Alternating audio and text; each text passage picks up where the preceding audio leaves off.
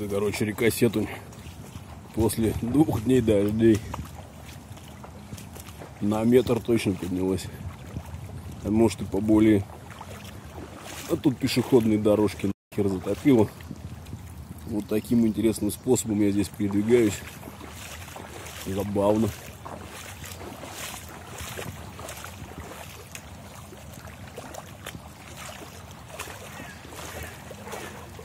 Просто чума.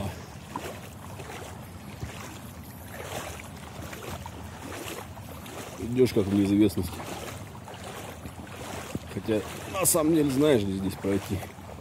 Вода холодная. Многие уже замерзли. То есть, вот там вот дерево, которое стоит по центру кадра, вода до него обычно никогда не доходит. Прям реально чисто с дождей поднялось. Вот как по лесу прям насквозь идет. Поток такой. Блин, вода реально холодная. Прогуляться интересно.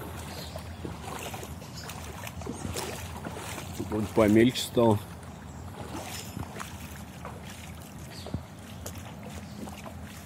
Ну да, тут совсем мелочь.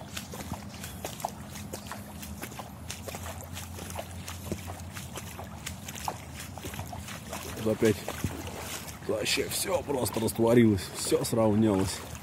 Вот здесь я уже даже не помню, где тут была дорожка. Ну, пойду на ощупь. Вон пока дорожка есть.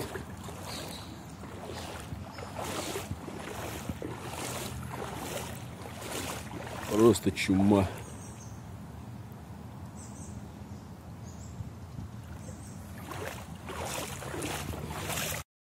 С дорожки сошел.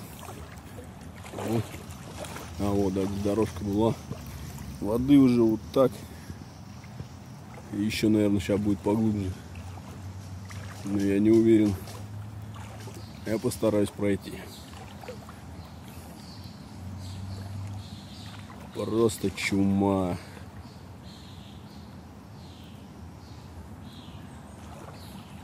Да, где-то здесь дорожка была определенно.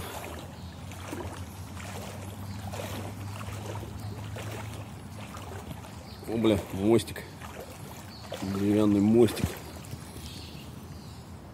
Глубина стала поменьше.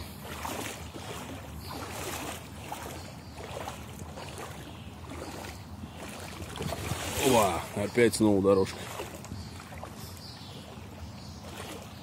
О. Говна нанесло.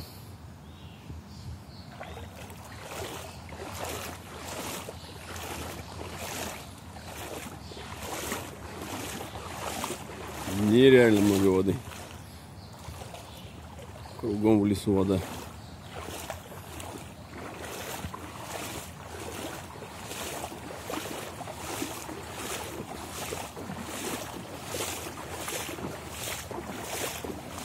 И вот он выход на сушу.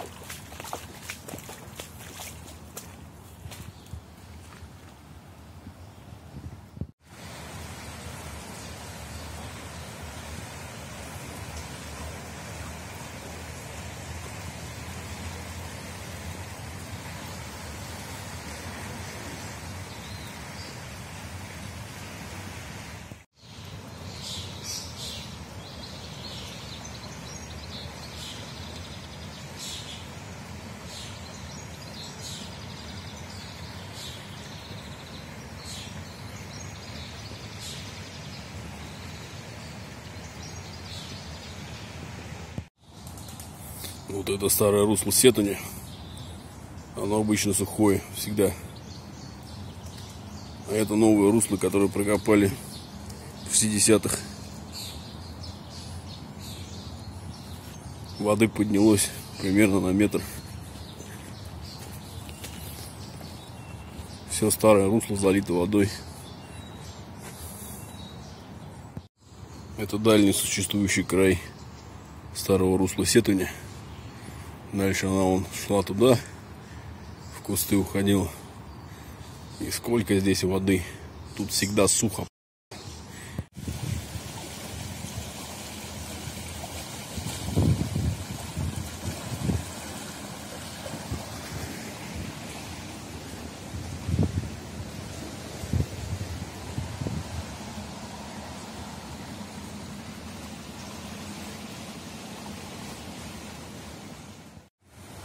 Хотел здесь пройти выше по течению.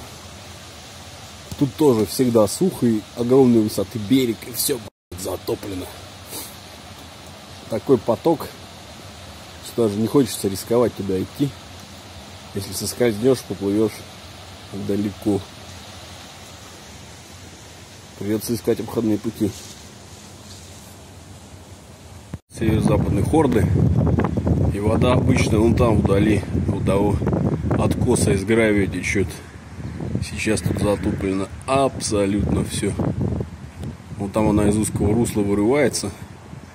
И здесь затапливает все просто.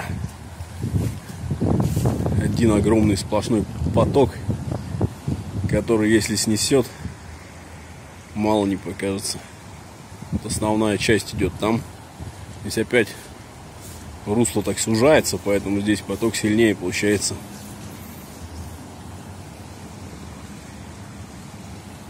А это выход из очистных сооружений, вот из тех ливневой канализации.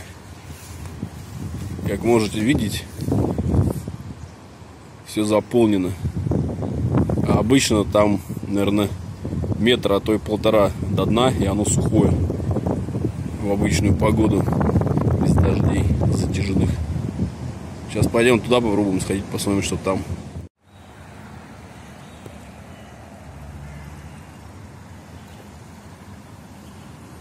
Здесь можно еще заметить, что уровень воды на самом деле был больше.